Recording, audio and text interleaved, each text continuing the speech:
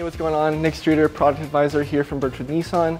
Today we're going to be taking a look at the first ever all-electric Nissan SUV. So today we'll be taking a look at the 2024 Nissan Ariya. We do have dual motors giving you power to all four tires, so you do have all-wheel drive, fully illuminated emblem up front, signature LED lights, which actually wrap down, giving you that electrified V-Motion grille. We do have the 19-inch wheels, 360 cams. Let's take a look in the trunk. So now that we're at the back here, you'll notice we have the one-piece LED light blade at the back, the automatic liftgate here, which is fully adjustable. Uh, we do have the privacy cover here in the back, 60-40 split for the back seats, and then, you know, for those long grocery hauls when your arms are completely full, you do have the motion-activated liftgate too.